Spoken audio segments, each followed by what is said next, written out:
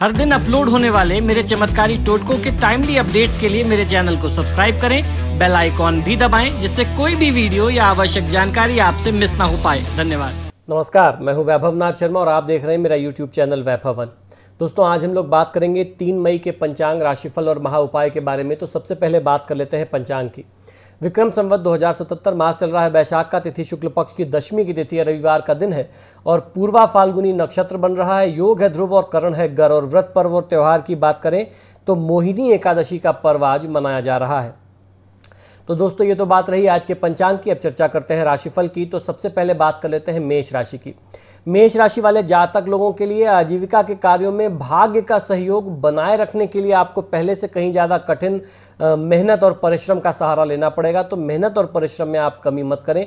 ओम कठोराय नमः मंत्र का 108 बार जाप करिए और किसी भी व्यक्ति के साथ दुर्व्यवहार करने से आपको बचना चाहिए।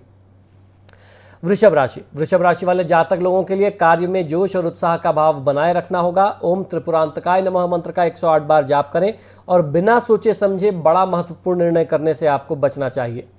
मिथुन राशि। मिथुन राशि वाले जातक लोगों के लिए रिश्तेदार और सगे संबंधियों से मेल मुलाकात के अवसर बनेंगे। ओम वृषांकाय नमः मंत्र का 108 बार जाप करें और क्रोध करने से आप बचें।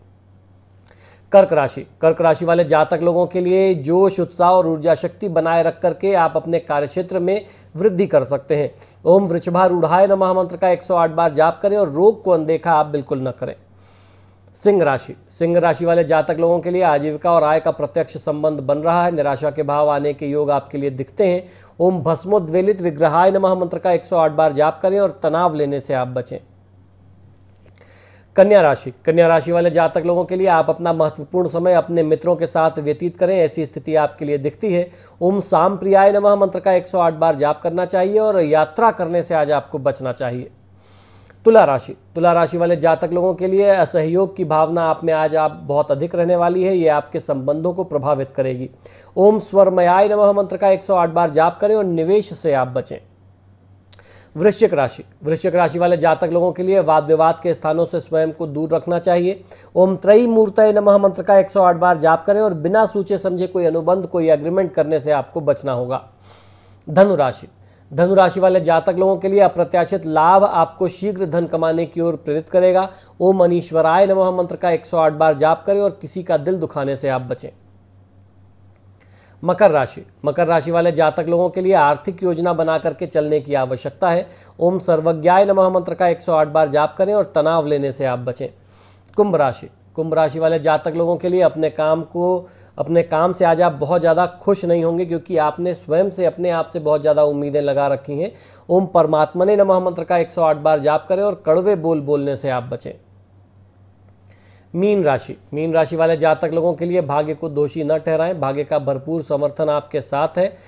ओम हवय नमः मंत्र का 108 बार जाप करें और किसी को धोखा देने से आप बचें। तो दोस्तों, ये तो बात रही आज के बारह राशि की। हम लोगों ने जाना ग्रह नक्षत्र की स्थितियाँ क्या कहती हैं और दिन को शुभ बनाने के लिए आपको क्या करना चाहिए और क्या नहीं करना चाहिए।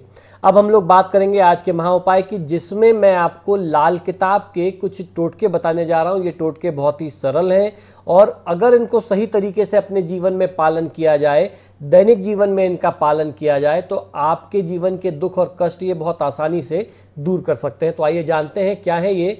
धन, संपत्ति, समृद्धि, ऐश्वर्यदायक लाल किताब के टोटके।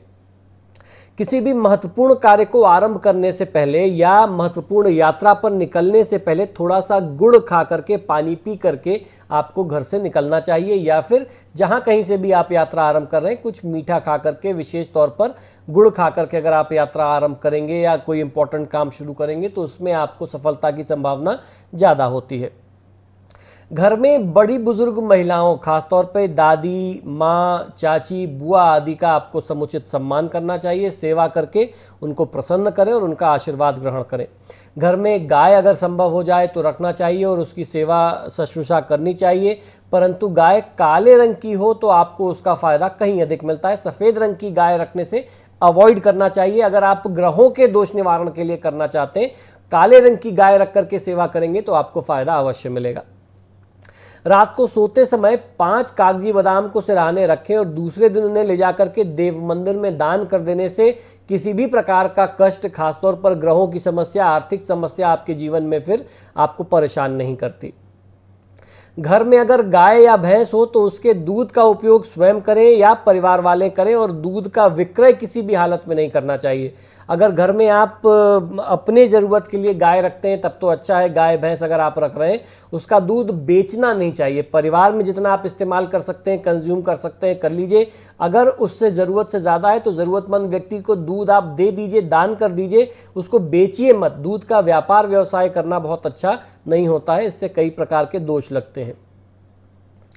गर्मी के दिनों में रास्ते पर पथिकों के लिए जो यात्री लोग होते हैं, जो रास्ते में जा रहे होते हैं, उनके लिए शीतल जल की व्यवस्था अगर आप करते हैं, ठंडे पानी पिलाने की व्यवस्था करते हैं तो आपका कल्याण अवश्य होता है। ईश्वर आपको कभी फिर दुख में, कष्ट में नहीं रहने देते।